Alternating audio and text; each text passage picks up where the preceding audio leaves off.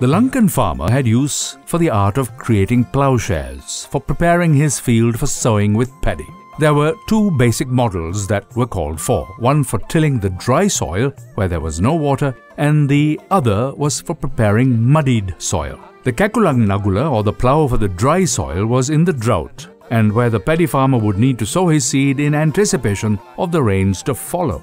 When ploughing the muddy fields, there were two or three models of ploughs that filled the need. Each appellation had the idea of a plough made of wood and shaped for its specific purpose. Whatever the nature of the soil, the farmers needed to have a brace of buffaloes which would engage with the farmer in tilling the soil in preparation for sowing. The farmer also needed to have a sturdy yoke to which the plough would be affixed. There was also a person who is skilled in the shaping and forming of the plough, and one who was also adept at using the device to derive the greatest benefit. This individual or expert ploughman would be on hand to support the paddy farmer. What is more, he also would be one who had fine knowledge in the handling of a brace of buffaloes who would be engaged in the field. After the preparation has begun, the air is rent by the sound of exhortation by the ploughman as he cajoles his buffaloes into action and as he guides the plough through the soil. Once the yoke has been affixed to the plough and with the placing of the yoke upon the necks of the buffaloes,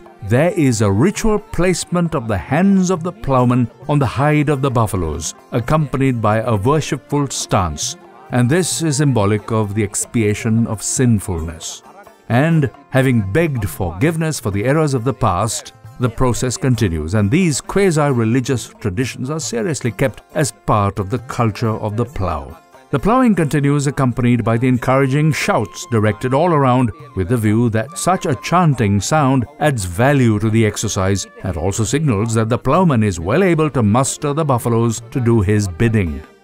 The lay of the land also influences those activities to an extent, for different plough designs and settings are required for the specific terrain, such that will be effective with the drier soil, the muddy and hardened soils that may have more sand and stones and so on. Some ploughshares will be with some serration and some smoother, and the soil quality will determine how deeply the plough must dig. All this is considered at the time the buffaloes are harnessed to the plough. Furthermore, the particular type of rice cultivar that is being grown will also determine how the soil needs to be furrowed and prepared. Some paddy varieties need a longer period of, say, seven months for ripening, others of shorter duration of a few months. These variables will also dictate the design of the plough to be applied in each case.